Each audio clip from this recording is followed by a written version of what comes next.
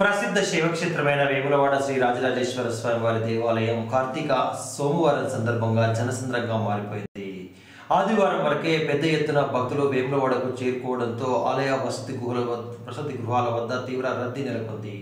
దీంతో ఇష్టారీతిన ప్రైవేటు లాడ్జీల యజమానులు భక్తుల వద్ద నుండి అందరికాడికి దండుకున్నారు. కాగా ఉదయం మూడున్నర గంటల ప్రాంతం నుండే స్వామివారి దర్శనం కోసం భక్తులు పెద్ద ఎత్తున బార్లు తీరారు. తరణీలాలు సమర్పించిన అనంతరం స్నానాలు చేసి స్వామివారి దర్శనం కోసం క్యూలైన్లో బారులు తీరారు.